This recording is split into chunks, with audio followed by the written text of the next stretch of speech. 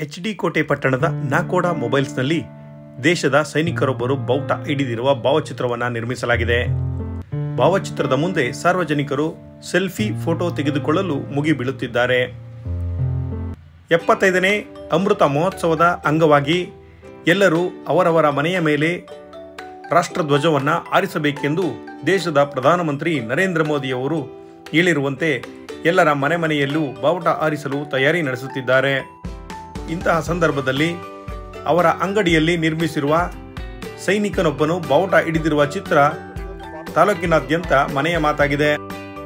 ನಮ್ಮ ದೇಶ ನಮ್ಮ ನಾಡು, ಮತ್ತು ನಮ್ಮ ಸೈನಿಕರು ದೇಶಕ್ಕೋಸ್ಕರ ಪ್ರಾಣ, ಎಷ್ಟೋ ಜನ ಪ್ರಾಣ ಬಿಟ್ಟಿದ್ದಾರೆ, ತ್ಯಾಗ ಮಾಡಿ ಬಲಿದಾನ ಮಾಡಿದ್ದಾರೆ. ಅವ್ರ ನೆನಪಿಗೋಸ್ಕರ ಮತ್ತು ನಮ್ಮ ಸ್ವತಂತ್ರ ಬಂದ ಒಂದು ಹಿನ್ನೆಲೆಗೋಸ್ಕರ ಎಪ್ಪತ್ತನೇ ಸ್ವಾತಂತ್ರ್ಯ ದಿನಾಚರಣೆಯನ್ನು ಪ್ರತಿಯೊಬ್ಬ ಮನೆಯಲ್ಲೂ ಸಹ ಅದು ಸ್ವಯಂಪ್ರೇರಿತವಾಗಿ ಆಚರಿಸ್ಬೇಕು. ಅದು ಪ್ರತಿಯೊಬ್ಬರ ಭಾರತೀಯ ಜವಾಬ್ದಾರಿ ಇರ್ತದೆ.